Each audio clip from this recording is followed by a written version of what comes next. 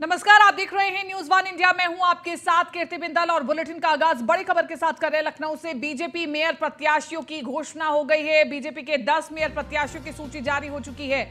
मुरादाबाद से विनोद अग्रवाल, बीजेपी प्रत्याशी गोरखपुर से मंगलेश श्रीवास्तव को प्रत्याशी बनाया गया है। वाराणसी से अशोक तिवारी प्रत्याशी बनाए गए हैं। और न्यूज़ वन इंडिया के पास लिस्ट भी है, जिसमें सभी नाम अंकित है। तो गोरखपुर से मंगलेश श्रीवास्तव को प्रत्याशी बनाया गया है। इसी के साथ साथ वाराणसी से अशोक तिवारी प्रत्याशी बनाए गए हैं। तो बीजेपी ने मेयर प्रत्याशियों की सूची जारी कर दी है और मेयर प्रत्याशियों की घोषणा हो गई है। लखनऊ से ही इस वक्त की बड़ी खबर है। नगर निकाय चुनावों को देखते हुए यह बड़ी खबर, बीजेपी के 10 मेयर प्रत्याशियों की सूची जारी। मुरादाबाद से विनोद अग्रवाल बीजेपी प्रत्याशी बनाए गए हैं।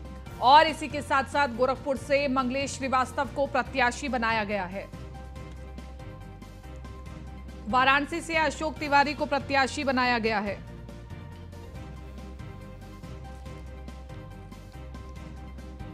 तो बड़ी खबर बता रहे लखनऊ से बीजेपी मेयर प्रत्याशियों की घोषणा, बीजेपी के 10 मेयर प्रत्याशियों की सूची जारी।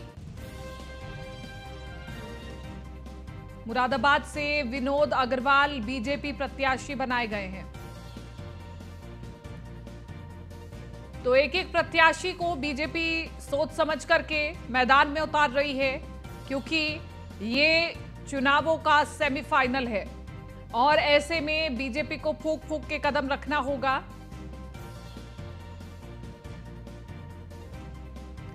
मनीष मिश्रा बने हुए ज़्यादा जानकारी के साथ संवाददाता फ़ोन लाइन पर। मनीष मिश्रा मेयर प्रत्याशियों की सूची जारी की गई है।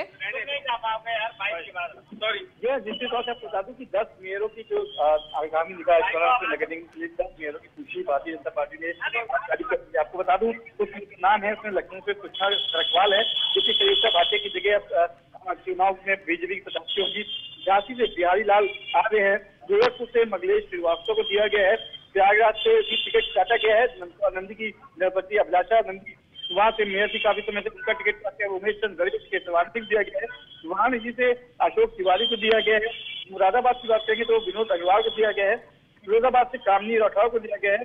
आगरा से हेमलता दिवाकर को दिया गया और सहारपुर से डॉक्टर अजय कुमार को दिया गया तो सत्रह नगर निगम के जो चुनाव होने हैं मेयर पद के लिए उनमें से दस चुनाव है। है। ठीक है मनीष शुक्रिया तमाम इस जानकारी के लिए।